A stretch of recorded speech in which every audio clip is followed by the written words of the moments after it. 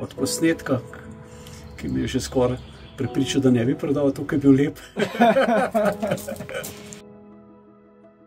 Preko interneta? Preko interneta sem najdel to agencijo in sem pošel popraševanje, če se ne motim, ker sem gledal, zdaj sem gledal, da je bilo to 29. aprila in pa so se odzvali. Ker so se lepo prijazno odzvali, ne, moram priznati, lepo, lepo odločil se.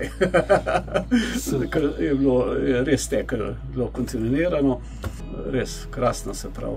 Od posnetka, ki mi je že skoraj pripričal, da ne bi prodal, tukaj je bil lep.